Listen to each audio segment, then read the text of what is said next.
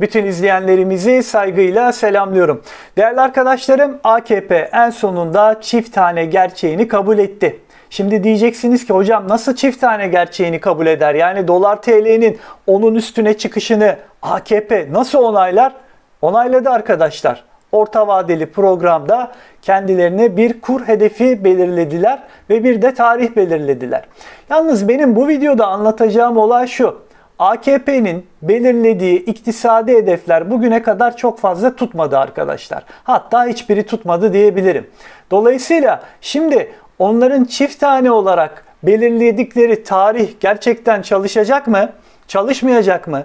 Bu dolar TL'nin sonu nereye gidecek? 2 yıl 3 yıl sonra bu işler ne olur dediğimizde işte buna AKP'nin en son yayınladığı orta vadeli program çerçevesinde cevap vermeye çalışalım. Bakın şimdi az önce dedim ki AKP'nin ekonomik hedefleri bugüne kadar tutmamıştır. Ha bu benim AKP'ye olan sevgimden ya da düşmanlığımdan değil. Rakam bu arkadaşlar. Yani bugüne kadar mesela 2023 ile ilgili daha önceden açıkladıkları hedefe bakalım. Şimdi bir de yeni olarak açıkladıkları hedefe bakalım. Arada dağlar kadar fark var. Neden? Bakın daha önce işsizliği %5 olarak 2011-12 yıllarıydı galiba. O sırada işte AKP'nin en güçlü olduğu dönemler e, Cumhuriyet'in 100. yılı için hedefler açıklandığında denilmişti ki işsizlik %5. Şimdi orta vadeli programda kaç biliyor musunuz? %11. Ama bakın bu %11 olacak değil. Bu da tutmayacak. Dolar TL hedefleri de tutmayacak. Neden tutmayacağını detaylı bir şekilde anlatacağım. Sapmalara bakın. %5, %11, %100'den fazla. İhracat demişler ki 500 milyar dolar olacak. Şimdi ne kadar biliyor musunuz? Hedef 242 milyar dolar. Yarısı gitmiş. Kişi başına gelir 25 bin dolar olacaktı Türkiye'de. Hepimiz uçacaktık, kaçacaktık değil mi? Hepimizin altında iki araba, bir ev, bir yazlık. Ne oldu şimdi hedef? 10.700 dolar. Yarısı gitmiş. Ha, o zaman sallamak kolay.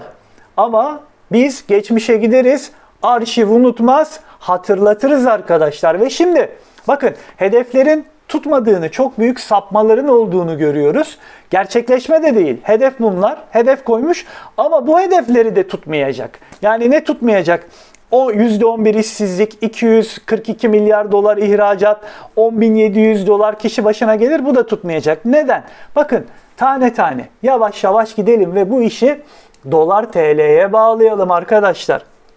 Şimdi az önce söyledim. Cumhuriyet'in 100. yılında 500 milyar dolar ihracat bekliyordun. Şimdi 242 milyar dolar bekliyorsun.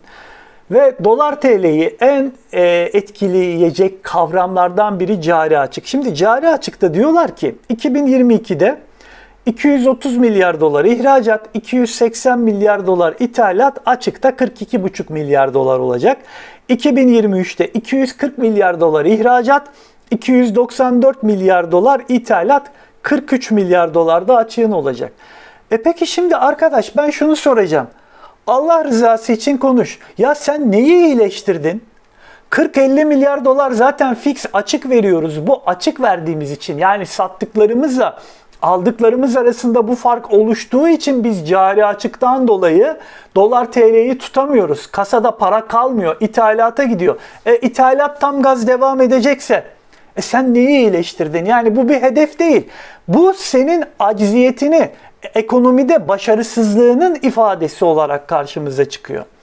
Ve açık tam gaz devam ediyorsa arkadaşlar az önce de dediğim gibi kur e, tam gaz e, artmaya devam edecektir. Yani orta vadeli programda aslında bu açık rakamlarıyla e, bunu kabul ediyor ve gelelim şimdi dolar TL'deki hedeflerine. Bakın dolarda 2022'de 9.27, 2023'te 9.77, 2024'te 10.27 hedef var. 10.27 2024 için. Petrol hedefi 2022'de 68.3 dolar varil başına, 2023'te 65.1, 2024'te 61.8. Bir kere şunu söyleyeyim. Kardeşim sizin bu petrol fiyatlarınıza göre dünya önümüzdeki dönemde delta'nın etkisinden çıkmıyor. Aksine resesyona giriyor. Yani petrole talep artmayacak. Petrol fiyatı 68 dolardan 61 dolara düşecek. Tak çatala taktılar. Golü yediniz. Petrol fiyatınız yanlış. Talep arttıkça petrolün fiyatı artar. Dolayısıyla burada e, petrol fiyatı arttıkça da enflasyon yukarıya doğru gider ve liranın değer kaybı karşınıza çıkar. Ben sadece kendi hissiyatım değil arkadaşlar bu petrol fiyatı ile ilgili bu e, projeksiyon başka büyük e, yatırım firmaları tarafından da bankalar tarafından da hazırlanan raporlarda böyle geçmiyor. Buradan golü yiyecekler. Şimdi kur tahmini 2022 için 9.27, 2023 için 9.77, 2024 için 10.27 diyoruz.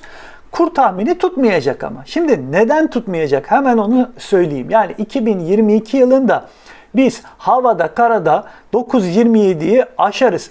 An itibariyle gözünüzü seveyim zaten 8.20-8.30 arasında gidiyor geliyor bu kur.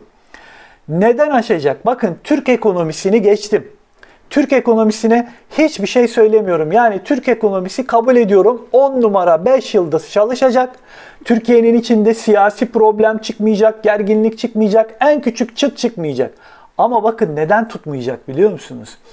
Bu planı, programı hazırlayan arkadaşlarım Amerikan Merkez Bankası'nın eylemlerinden bir haber olarak hazırlıyor. Yani dünyada her şey sabit kalmış, durmuş. Bir tek Türkiye var. Her şeyde Türkiye'nin parmağının ucunda dönüyor ve buna göre bir dolar TL kuru tahmini yapılıyor. Böyle saçmalık çok özür dilerim ama olmaz. Neden arkadaşlar? Bakın 2020 Şubat ayında Fed'in varlıkları yani kabaca bastığı para 4.1 milyar 4.1 e, trilyon dolar. 2021 Eylül'de girdim baktım ne kadar? 8.3 trilyon dolar.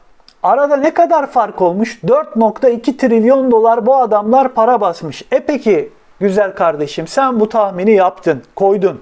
Diyorsun ki işte e, 2022'de 9.27. Şunu hesaplamadın, golü buradan yedin. Tak çatala taktılar yine sana. Ne? Ne oldu? 4.2 trilyon dolar bu para varken kur 8.30'sa Allah aşkına söyle bakalım bana bu para geri çekildiği zaman sen dolar TL'nin 9.27'de 2022'de duracağına ya da yıl sonunu burada bitireceğine inanabiliyor musun? Amerikalılar eninde sonunda iş gücü piyasası toparlandığında, işler yoluna rayına oturduğunda bastıkları bu artı 4.2 trilyon doları geri çekecek. Bunu geri çekmek için de faiz arttırarak bunu geri çekecek. Ve faiz arttırdığında mıknatıs etkisiyle Amerikan tahvillerine üşüşecek bütün küresel manadaki dolarlar. Dolayısıyla Türkiye'den de yabancı para çıkışı olacak. Ha şunu diyebilirsiniz bana. E Türkiye'de zaten yabancı sermaye kalmadı. İyi, güzel, kalmadı, doğru, evet, akıllıca bir tespit. Ama faizin öbür tarafta artırılması en azından Türkiye'ye 2022'de gelecek sermayeyi engelleyecek. O yüzden senin dolar TL tahminin tutmayacak diyorum.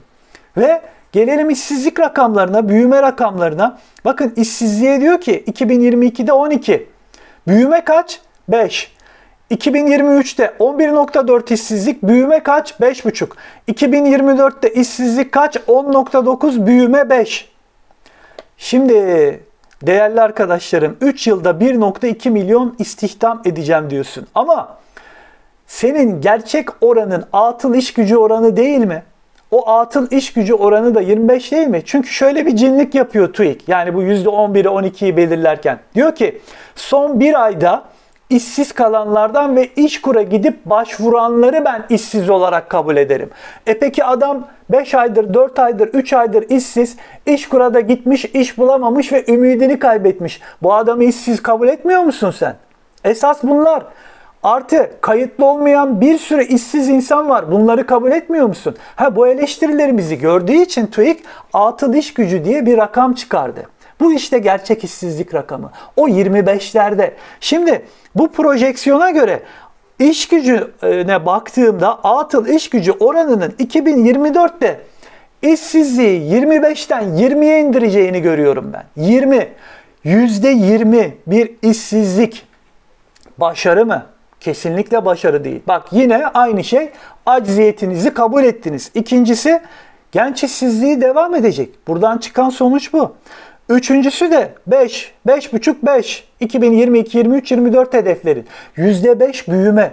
Ya bu %5 büyümeyle kusura bakma ama bu ülkenin doğal büyüme oranı %5. Doğal büyüme oranı şu. Ülkede yani bizim çocuklardan birini küçük 7-8 yaşında bir çocuğu yönetime geçirelim. Çocuk sürekli böyle ne bileyim PlayStation falan oynasın, oyun oynasın, hiçbir şey yapmasın. Yani ülkenin başını belaya sokmasın. Ülke %5 büyüyor zaten. Çünkü bu ülkenin girişimcisi, işçisi arı gibi. Büyütüyor %5. Bu bilimsel bir gerçek. E sen yani bunu hedef diye koymuşsun buraya. Hiç anlaşılmaz bir şey. Yani bu nedir ben anlayamadım. Artı 9900 dolar 2022'de, 2023'te 10.703 dolar milli gelir hedefim var. E hani 25.000 dolar olacaktı? E dolayısıyla burada çok büyük sıkıntılar var. Yani sen ne yapacaksın onu söyle. Yani bu %20'ye düşürdüm diye işsizliği bununla mı övüneceksin? Ya sadece acziyetinizi kabul etmişsiniz. Bir itiraf yapmışsınız. Ha ama bakın ben size bir grafik göstereceğim.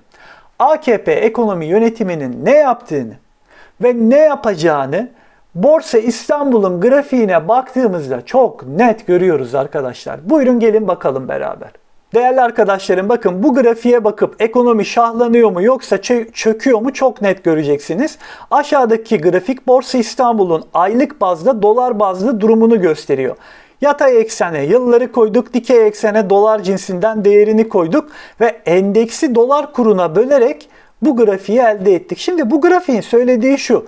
Kurun artmasıyla endeks düşmüş, yabancı için borsa yani Türk şirketleri pul parası haline gelmiş. Şahlanan bir ekonomide borsanın bu kadar değer kaybı söz konusu olabilir mi? Olamaz. 2. Endeks 2011 ve 2013 yıllarında bakın en mutlu zamanlarını yaşamış ama 2013 sonrası benim her videoda işaret ettiğim FED politikalarının değişmesiyle değerlenmeye başlayan kur Türk ekonomisine vurmaya başlamış ve endeks gümbür gümbür dışa bağlı ithalatçı yapıdan dolayı düşmüş. Bu noktada bakın şunu unutmamak gerek. 2022-2023 yıllarında FED para politikasını tekrar değiştirecek. Az önce söylediğim olay. Basılan paralar geri çekilecek ve ekonomi yönetiminin bununla ilgili en küçük hazırlığı yok. Üçüncü nokta da şu. Ekonomiyi uçuracak denilen Cumhurbaşkanlığı sisteminin 2018 yılında gelmesi bakın son darbeyi vurmuş. Endeks o yıldan sonra 2008 küresel krizi seviyesine düşüp yerlerde sürünmeye başlamış. Ayrıca bu grafik haricinde arkadaşlar büyük Türk firmaları ve holdinglerine baktığımda da aynı sıkıntılı tabloyu görüyorum. Onlarda bir nebze 2018 yılına kadar dolar bazında da artan bir fiyat var, artış var ama 2018'de onlar da düşmeye başlıyor. Yani ekonomideki bu sıkıntılı yönetime dayanamayıp fiyat olarak gerilemeye, değer kaybetmeye başlıyorlar arkadaşlar. Değerli arkadaşlarım grafiği gördünüz. Bu grafiğin söylediği olay şu. Cumhurbaşkanlığı sistemi işte ülke ekonomisini mahvetmiş bir durumda. Özellikle 2018'den sonra. 2019 yılında bizim yüreğimizdeki korku şuydu. Ya işte yabancılar gelecek, Türk firmalarını ele geçirecek. Çünkü pula döndü diye bizim firmalar. Ama bakın buna rağmen gelmiyorlar. Borsaya girmiyorlar. Neden? Çünkü Türk ekonomisine güvenmiyorlar. Bu açıklanan OVP'ye de kimse güvenmiyor arkadaşlar. Güveni yitirdik. Güveni yitirdiğiniz zaman fırsatçı yabancılar bile hani ucuzdan kelepir maldır diye kapalım gelelim Türk şirketlerini ele geçirelim diye bir düşünceleri yok. Neden? Çünkü Türkiye ile ilgili olarak hakikaten bu ülke demokratik layık cumhuriyete bağlı kalacak mı kalmayacak mı? Yoksa bir Afganistan Pakistan mı olacak diye yabancıların kafasında bir soru işareti var. Bu grafiğin tekrardan yükselmesi için tek bir çıkar yolu var arkadaşlar. O da şu demokrasiye, insan haklarına, basın özgürlüğüne bağlı olmak gerekiyor. Ve eğitimde, hukukta, ekonomide reformlar yapılması gerekiyor. Ama AKP bunun tam tersi işler yapıyor. Bakın sosyal medya düzenlemesi gelecek. Sosyal medyada bizim gibi konuşan insanlara şimdi hapis cezası getirecekler ve ülkeyi tamamen bir sıkıştırmaya itecekler. Neden? Çünkü biz burada çıkıp OVP'yi anlattığımız zaman o tarafta onların işine gelmiyor arkadaşlar gerçekleri söylemek. Böyle bir sıkıntılı tablo var ne yazık ki önümüzde. Değerli arkadaşlarım bitirirken bir de şöyle küçük bir hatırlatma yapmak istiyorum. Bakın ülkenin durumu sıkıntılı. Girişimci arkadaşlarımızın bir şirketi var ee, ama önümüzdeki yıl bu şirket devam edecek mi? Hacimleri aynı şekilde yürüyecek mi? Edecek mi? Bunlar soru işareti. Çalışan arkadaşımın bir işi var ama bu iş devam edecek mi? Bunlar hep bu ülkede soru işareti arkadaşlar. Çünkü önünüzü göremiyorsunuz. Bakın hedefleri anlattım. Hedeflerin hiçbiri tutmamış. Ve yine tutmayacak o hedefler. Burada yapmanız gereken nokta yarınlarınızı düşünerek bugüne kadar böyle dişinizden tırnağınızdan artırdığınız bu birikimleri korumak. Ha, korumak için dolar TL'yi kullanıyorsunuz zaten ama dolar TL'de para sadece park ediliyor. Dolar TL'nin e, en fazla bir enflasyon garantisi var. Enflasyona karşı koruyor. Ama bunun daha üstüne çıkmanız lazım. Neden? Bugün e, var ama yarın yok diyoruz bazı şeyler. İşte bu yüzden bu parayı nasıl arttıracaksınız? Finansal okur yazarlığın dışında bilanço analizi bilmeniz lazım. Makroekonomik analiz bilmeniz lazım arkadaşlar. Teknik analiz bilmeniz lazım. Bakın tek bir küçük örnek vereyim. Eğer bilanço analizi bilseydiniz Yapı Kredi Bankası'nın Ağustos'un başında açıkladığı bir bilanço vardı. Fiyatına rakamına girmeyeceğim. Orada bilanço gerçekten çok güzel bir rakamı işaret ediyordu. Ve o sırada yapı kredi 2.30'du. Yapı kredi şu an bir ayda 2.70 oldu. 2.30 2.70 arkadaşlar. Taş atıp da kolunuz yorulmuyor. Sadece küçük bir matematik işlem yapıyorsunuz. Bilanço fiyatını hesaplıyorsunuz. Bu şekilde karlı bilançoları hesaplayarak o doların size bir yılda, bir buçuk yılda vereceğini siz bir ayda, iki ayda kazanabilirsiniz. Buna temel analiz deniliyor arkadaşlar. Biz insanlara temel analiz anlatıyoruz, teknik analiz anlatıyoruz ve makroekonomik analiz anlatıyoruz arkadaşlar. Yani balık vermiyoruz, tiyo vermiyoruz, onu al bunu al demiyoruz. Balık tutmasını öğretiyoruz. www.borsaeğitimi.com diye bir sitemiz var. Bu eğitim sitemizde içeriği inceleyin. Kafanıza yatarsa e, yazın. Eylül e, kayıtlarımız başladı arkadaşlar. E, geleceğiniz için kendiniz için güzel bir emeklilik planı, güzel bir e, yatırım yapmış olursunuz diye düşünüyorum. Beni izlediğiniz için teşekkür ediyorum. Tekrar saygılar sunuyorum.